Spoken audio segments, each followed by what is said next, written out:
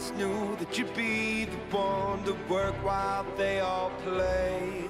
And you, you'd lay awake at night and scheme of all the things that you would change, but it was just a dream.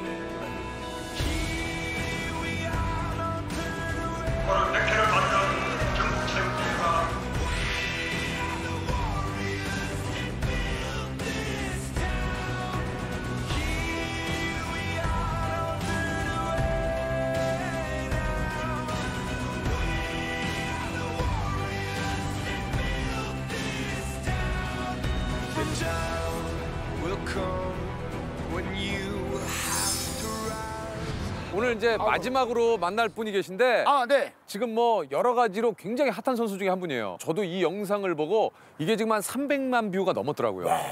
전국체전에 이번에 그 출전하지는 않으셨지만 이제 네네. 내년부터 전국체전에 이제 출전할 수가 있다고 얘기를 들었거든요. 그렇습니다. 아, 네, 정말 대한민국이 주목하고 있는. 그렇습니다. 아, 아, 자 우리 그 오늘 마지막으로 어, 온다. 또- 온다.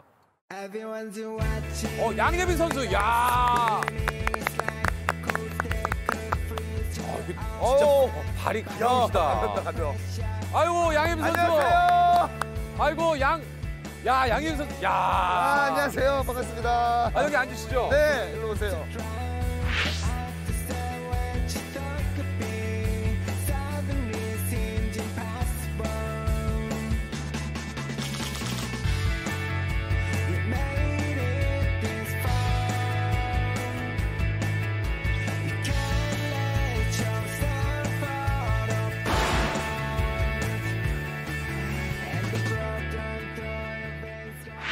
아니 사실 그 TV를 통해서만 뵙고 네. 실제로 뵙는 거 오늘 처음인데 아 본인 소개를 직접 좀 해주시죠. 어, 안녕하세요. 계룡중학교 3학년 육상 선수 양예빈입니다. 야 계룡중학교 3학년 우리 양예빈 선수. 드디어 계룡 여신을 만났습니다. 아 대단합니다. 아. 예. 뭐 별명이 굉장히 많아. 별명 또 아. 다른 게 있죠. 네, 육상계 김연아. 아 육상 맞아요, 맞아요. 육상계 김연아 또 있죠. 육상샛별 계룡 여신. 예. 여중생 볼트. 여중생 볼트. 아. 예. 어. 아니 진짜 그 올 5월에 있었던 그 대회였죠. 50m 차이 나는 걸 따라잡아가지고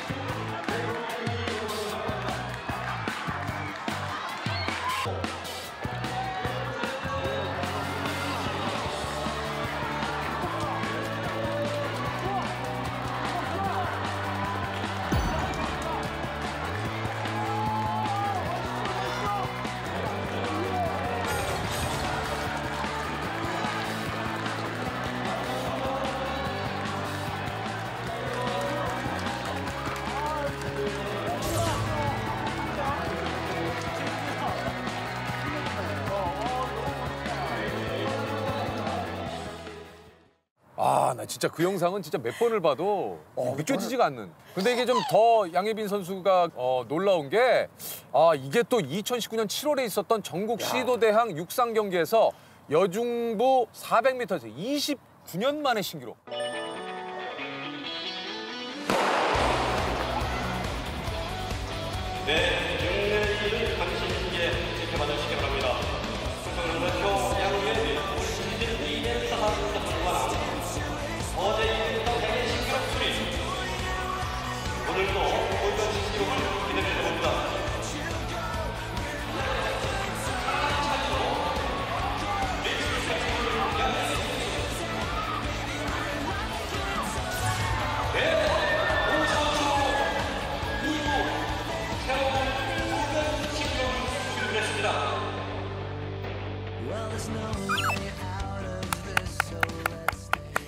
어, 이게 얼마, 얼마나 되는 기록입니까? 이게 원래 종전 기록이 어떻게 되죠? 55초 60. 55초 60이었는데 그 양예빈 선수가 몇 초? 55초 29. 와. 양예빈 선수는 그 육상을 어떻게 시작하시게 된 겁니까? 저 이제 학, 초등학교 때 네. 체육 선생님의 권유로 시작했어요. 아. 이제 원래는 멀리뛰기였는데 아. 이제 그걸 이제 중2 때 아, 네. 지금은 이제 학교 다니죠? 네. 어, 그러면은 뭐 학교는 내일 오늘 안 갔어요? 오늘 어떻게? 네, 오늘 휴일이잖아요. 아 오늘 휴일이구나. 그럼 이제 내일부터. 미안해 오늘 너무 뛰었어요 제가. 지금 정신이 없어요. 지금 오른쪽 지금 골반 나갔거든요. 이게 막 오른쪽 오른쪽에 왼쪽. 골반 그 테스트하는 방법 있죠? 원래 보통 저희가 이- 이- 이렇게 테스트를 해요. 근데 여긴 잘 되는데 여기 안 돼요. 골반이 나갔어요. 나갔어요. 지금 딱 오른쪽은 되는데 아 왼쪽이 안 돼. 평소에 잘 돼요. 저희가 가끔 하는 그 테스트들이 있어요.